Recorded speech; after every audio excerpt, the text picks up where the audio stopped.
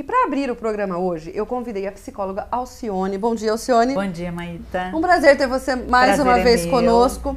Alcione vai falar de um tema que eu achei super importante a influência do meio externo na formação de nossas crianças. Um tema muito importante, principalmente nos dias de hoje, né, Alcione? Muito, muito, Maíta. E esse tema surgiu depois que eu assisti esse filme, no qual eu até indico para você, se você não assistiu ainda, A Grande Vitória. É uma história real de Max Trombini. E na verdade, e além de ser uma história linda e, e emocionante, eu verifiquei isso e por isso eu gostaria de abordar isso com você. A importância dessa influência, porque essa influência ela pode tanto ir para o lado positivo, como foi no caso do filme, como para o lado negativo, né? Sim, sim. E o que, que a gente está observando ultimamente, Maíta? Uma certa despreocupação com este período inicial da formação da criança. Pais que trabalham excessivamente, que deixam seus filhos na mão de pessoas quase nem sempre bem preparadas, né? Então, o que, que é importante? Este período inicial do nascimento até os 7, 8 anos, que seria a primeira infância, é de vital importância para a introjeção dos valores adequados para que lá à frente essa criança possa se tornar um adulto responsável, pertinente ao local onde ele está, uh, onde ele vai né, ser um bom pai, ser um bom profissional de uma maneira uma geral. Uma boa pessoa, Uma boa é? pessoa. Então, a influência do meio é assim grande.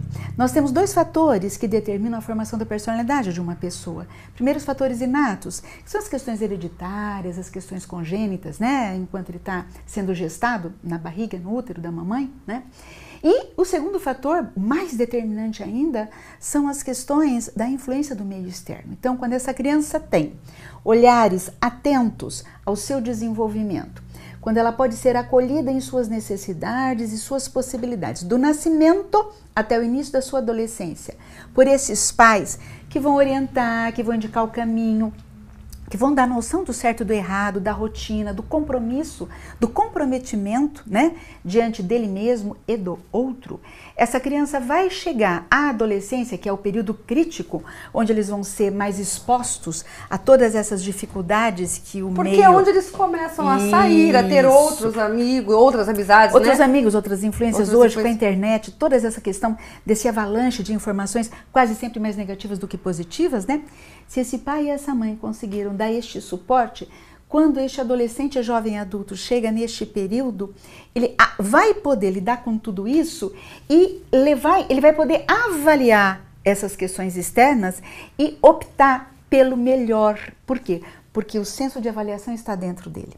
Quando os pais tiveram uma ineficiência neste processo, é, aconte- acontece o que a gente cansa de ver por aí, né?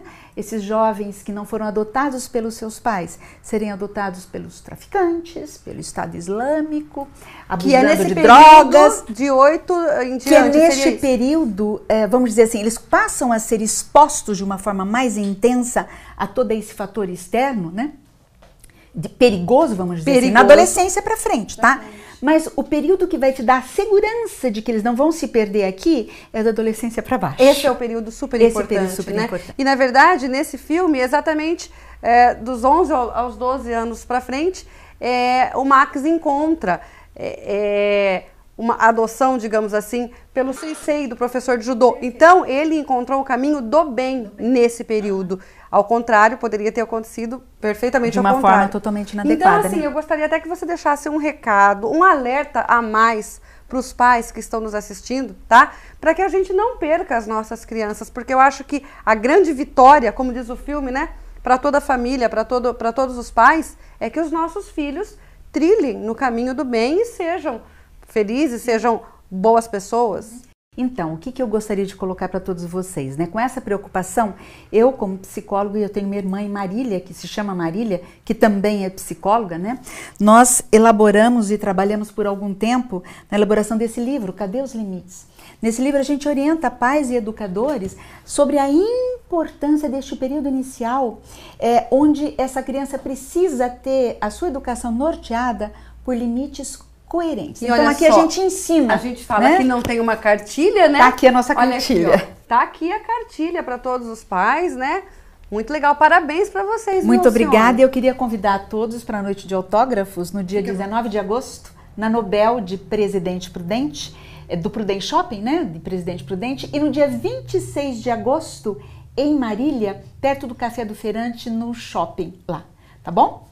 E eu quero aproveitar e mandar um abraço pro Max Trombini. Max, eu sei que você está nos acompanhando aí pela internet. Dessa vez, entre a sua agenda e a minha, a gente não conseguiu gravar, mas eu espero por você, vai ser um prazer receber você aqui no SBT Interior para que você possa pessoalmente, né, contar essa história de sucesso pra gente.